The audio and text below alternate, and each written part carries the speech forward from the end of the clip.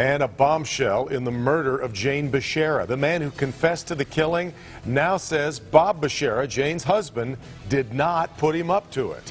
That's a big switcheroo. Good to have you with us for Local 4 News at 6. A shocker of a twist in a story that has drawn national attention. Oh, Devin, it really is. The key witness against Bob Bashara is changing his mm-hmm. tune, saying there was no conspiracy, but rather that he killed Jane in a moment of panic while trying to rob the house. Let's get to our Sean Leahy joins us live with a look at what Joe Gentz is now saying and how it compares with what he said before. Sean?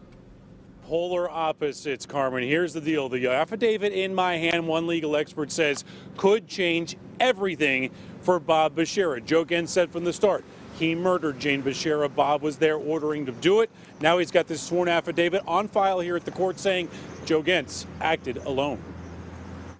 And Bob says, shut the woman up now hit her with my hand. That's the voice of Joe Gentz in chilling secret recordings obtained by Local 4. He says Bob Bashara hired him to kill his wife Jane. Gentz says Bashara was there when he strangled Jane. She goes, Bob. And that's, Bob says, choke her. I want you to take her out. And I went, hey, bam. And you went, bam what? Show me, bam what?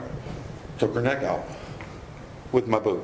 Now Gentz is changing his story. The impact of this sworn affidavit from Gentz could be a game changer for Bob Bashara.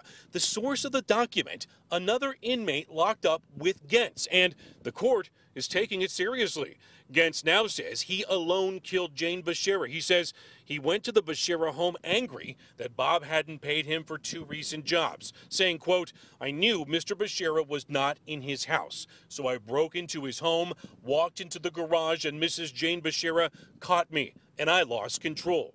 Gentz now claiming that he says he lied at the urging of police investigators.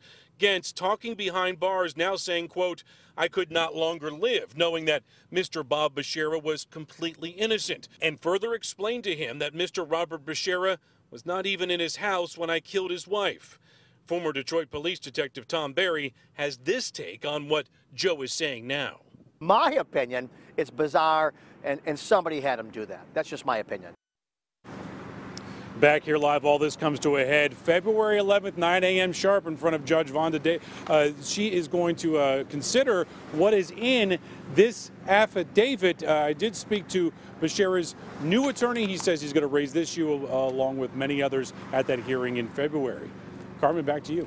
Sean, what about the credibility of the source of this new information? It was another inmate, right?